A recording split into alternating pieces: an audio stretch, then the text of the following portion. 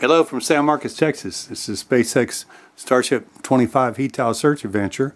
I'm out here on my back porch where I keep my stainless steel large pieces, mostly from Starship 11.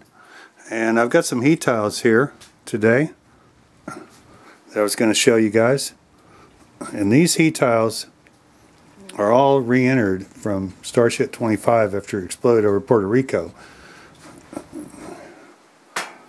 with the exception of one. And this one, this from Starship 25, but it only made it as far as Playa Bagdad.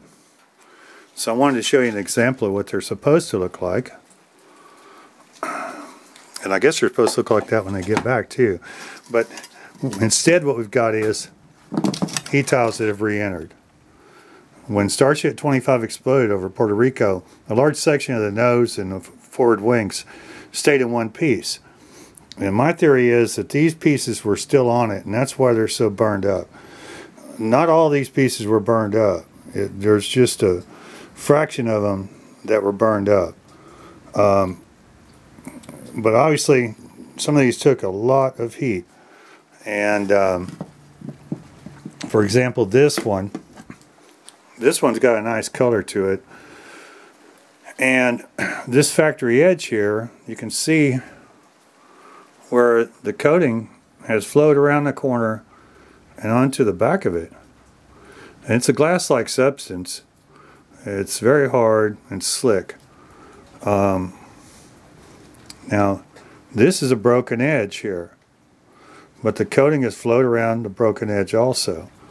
And this has got a big chunk out of it here. Once again, the coating has come around the corner. Um, and, and there's a light dusting of this stuff on the back also. Um, here's another one that the coating has flowed around the corner on it, off to the sides. There we go. And also the burn burn shows on the back. But some of the silicone is remains. Um,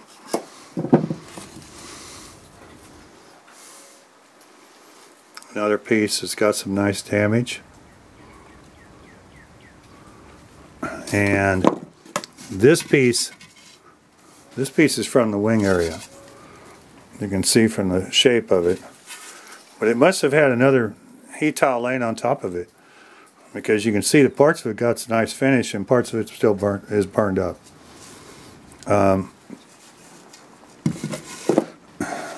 this piece is nice. It's got this iridescent finish. And this is a piece from a standard heat tile with a clip. These uh, standard heat tile pieces were rare. And this is about as big as one as I've found. Um, there were no absolute, no large heat tiles, standard heat tiles. Um, so, I just want to take a minute and show you these things. This one, for example, the, the fabric is all black on it.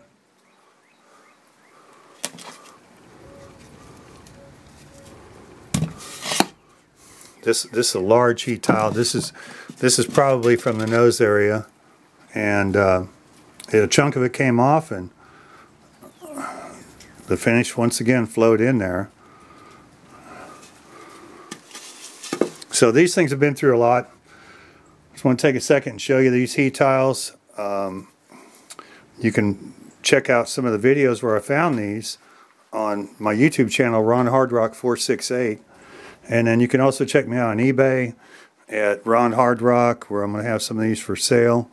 And um, I'm going to continue looking for these things. I've got one more place to go look at least. I've been to some islands that didn't have any heat tiles at all. Uh, and then I found a few here and there. These things are not easy to find, so but it's fun. You're out there in a beautiful, beautiful places doing this. So there's your update. More later.